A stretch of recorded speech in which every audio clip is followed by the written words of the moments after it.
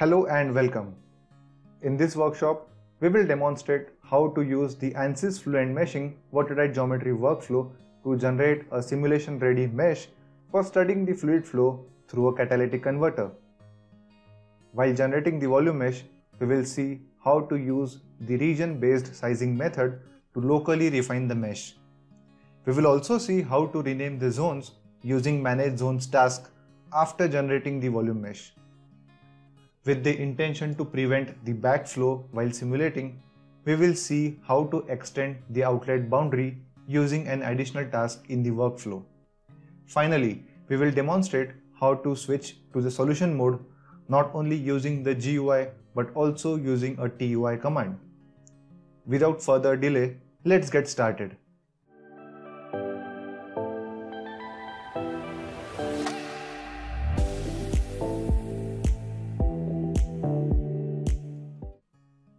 Launch ANSYS Fluent in meshing mode.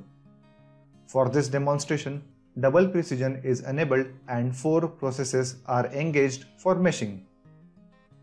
Once Fluent meshing launches, select Watertight Geometry workflow.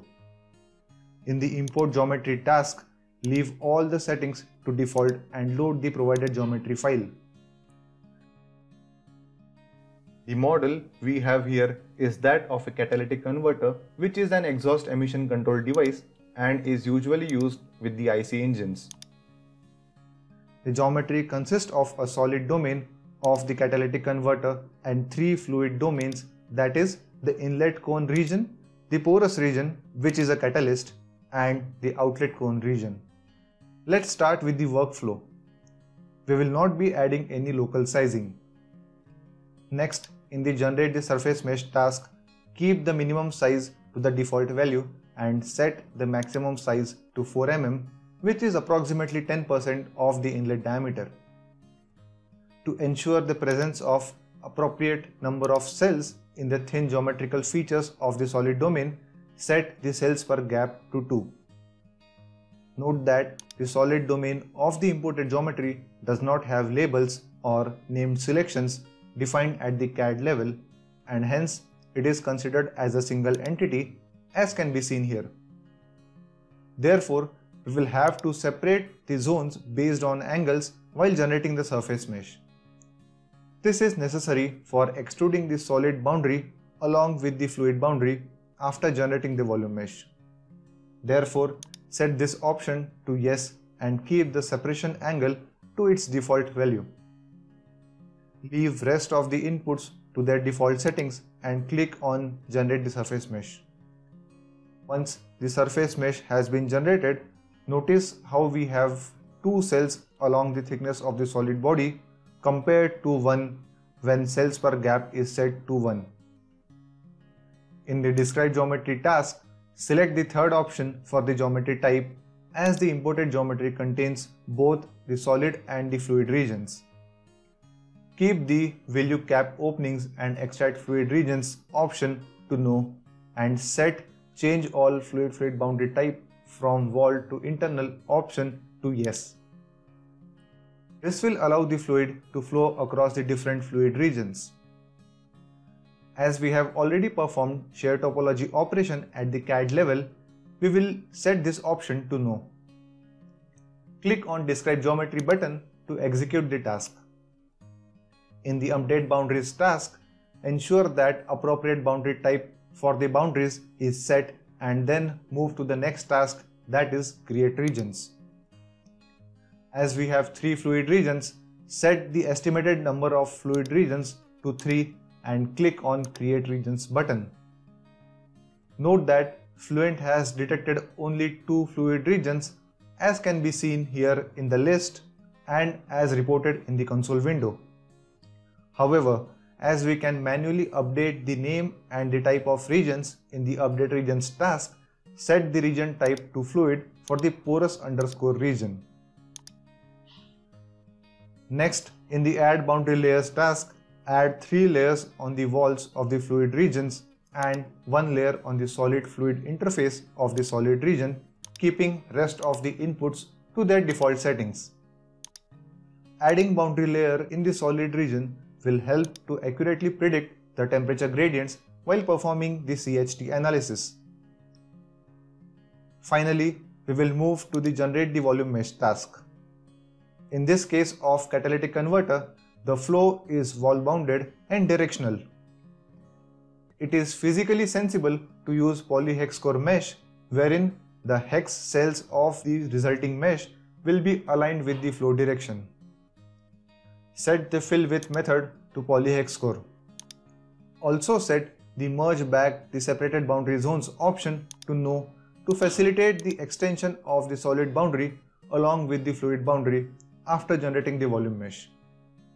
Make sure that the mesh solid regions option is ticked before executing the task. Hit the generate the volume mesh button to create the volume mesh. Once the mesh is generated, observe the cut section. For accurate modeling of the porous media while simulating, it is generally advised to refine the mesh in that region.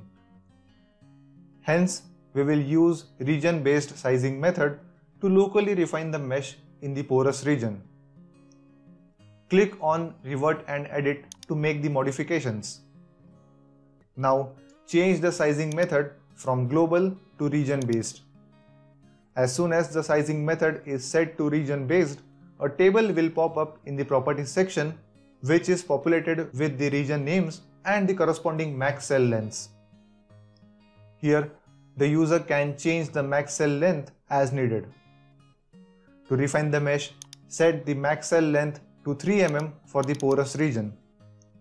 Note that the solver automatically updates the max cell length value closest to the user specified value that reflects the actual max size as per the Octree meshing scheme.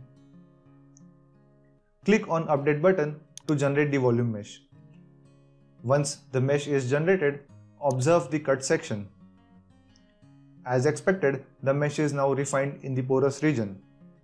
The mesh has a total of approximately 0.34 million cells with a mesh quality of 0.2 which is well above the recommended value of 0.1. It is always a good practice to maintain the zone names according to the zone type. If not named earlier, we can still do it after generating the volume mesh with the help of the Manage Zones task in the workflow. Right click on the Generate the Volume Mesh task, select Insert New Task and click on Manage Zones. Select the in underscore region cell zone, set the operation to rename and enter the new name. Click on Manage Zone button to execute the operation. Similarly, rename the out underscore region and porous underscore region cell zones. The face zones can also be renamed in a similar way, but let's skip that for brevity. Now we will extend the outlet boundary which can prevent possible backflow during simulation. Add the extrude volume mesh task in the workflow. Select outlet boundary for both solid and fluid domain using the graphics window. Set the total height to 100 mm with the number of layers as 20 and the growth rate as 1.1. Once the task is executed, notice how the surface mesh of the original outlet boundary is swept in the normal direction to create an extension. Once the mesh is simulation ready, it can be transferred to the ANSYS Fluent Fluid Flow Solver. Simply click on Switch to Solution button located on the top left corner of the ribbon to transfer the mesh to the ANSYS Fluent Solver.